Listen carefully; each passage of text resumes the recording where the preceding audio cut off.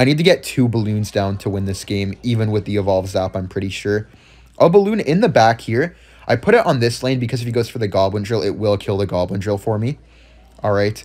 I'm going to go for the ability on the right just so I keep my Miner for the Inferno Tower. Okay, I'm going to go for the Miner here, and then I'm going to go for the arrows on top of everything. I'm going to go for the Evo Zap on top of the Inferno Tower. I do have a second balloon down. I'll put it on the left because that balloon is full HP.